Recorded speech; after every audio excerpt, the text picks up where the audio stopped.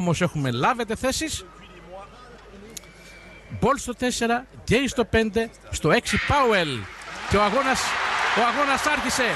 Ο Μπολτ είναι μπροστά. Ο Μπολτ θα κερδίσει. Δεν χάνει ο Μπολτ. Είναι ο παγκόσμιος πρωταθλητής με 9.58. 9.58 τι έκανε ο άνθρωπος. Παγκόσμιο ρεκόρ. Ένα πολύ πολύ μεγάλο ρεκόρ. Είχε πει ο προπονητής του ότι θα κάνει 9.59. Το ξεπέρασε και αυτό. Είναι απίστευτο που έφτασε ο παγκόσμιος ρεκόρ των 100 μέτρων. 8. Βέβαια, επαναλαμβάνουμε ότι το είχε πει ο προπονητής του, το έχουν προβλέψει. Ε, τώρα, ξέρετε, ε, κέρδισε την πρώτη θέση στους Ολυμπιακούς Αγώνες και η κυβέρνηση της χώρας του πήγε στο χωριό του νερό. Τώρα η μητέρα του προχθές έλεγε μακάρι να κερδίσει την πρώτη θέση να μας φέρουν και το ρεύμα.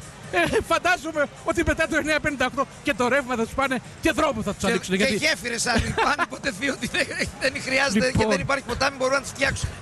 Όχι. ε, ε, Δεις, κα- δες καμιά φορά ο αθλητισμός κινεί τα πράγματα. Πράγματι ε, σε αυτό το χωριό του το Μπολτ δεν είναι κανένα πλουσιόπεδο. Ο πατέρας του ε, φρούτα πουλάει. Φρούτα και λαχανικά. Και έρχεται αυτό το παιδί τώρα και κάνει αυτές τις μεγάλες επιδόσεις. Τις επιδόσεις τις απίστευτες. τις επιδόσεις που αφήνουν τον κόσμο άναυδο.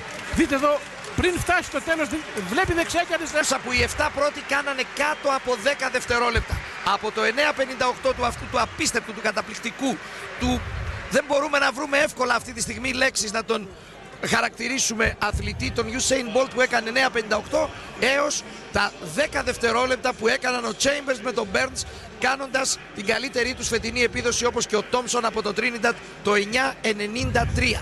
Δείτε μόνο ο Ντάρβις Πάτον, ο Αμερικανός, έμεινε πίσω τόσο πολύ. Πάντως, ε, όπως ε, διαπιστώνετε κι εσείς, στη διάρκεια της κούρσας ο Κινήσει του να δείξει